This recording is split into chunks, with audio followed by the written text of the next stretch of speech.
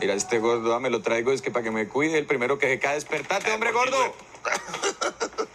¿Sabes qué? Yo estoy que lo sigo, mijo. Yo estoy que lo sigo porque es que vos sos un berraco para beber. No, es que no te en pijama es nadie, hombre. Ve, y de hablar de tanta hembrita, ya me entró como apetito. ¿Oíste?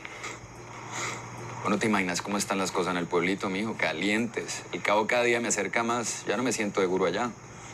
Qué vaina, Samuelito, que te hayas entropelado con ese man. Porque es que el viejo cabo es un más malo. Y lo que dice, lo cumple. Vamos a ver quién mata a quién primero, mijo.